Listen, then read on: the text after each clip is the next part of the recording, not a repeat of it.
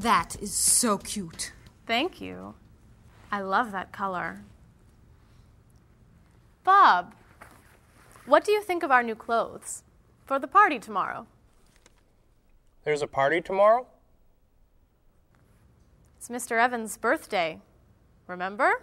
All right. Am I going? Yes, you are. Okay. So, tell us what you think of our new clothes. All those clothes are for one party? No. We have to decide what to wear. What do you think of these blouses? They're very flattering. Which one do you like more? What do you mean? Which one do you prefer? I like them both the same. No, you don't. You're just saying that. You need to have an opinion. You have to choose. No, no, no. I'm not doing that. Bob, please help us decide what to wear. Okay. Which skirt do you like?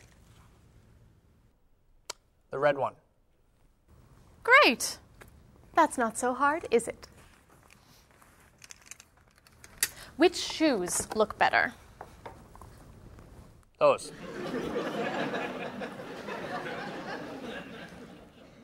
Which sweater do you prefer? I like the purple one. Bob, you like Marie's clothes more than mine. No, I don't. That's not true.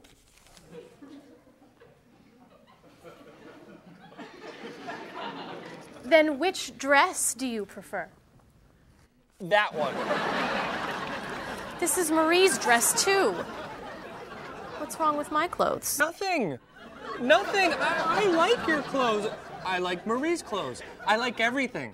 I like all dresses and all sweaters and all skirts and all shoes. Who asked you anyway?